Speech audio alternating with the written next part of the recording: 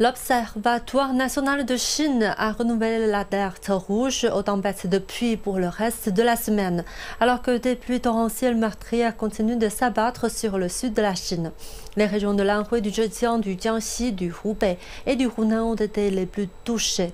Près de 660 000 habitants de la province de l'Anhui ont été affectés et plus de 150 000 personnes ont été évacuées. Déclenchées par des pluies diluviennes persistantes, 33 rivières à travers le pays ont connu des crues dépassant les niveaux d'alerte.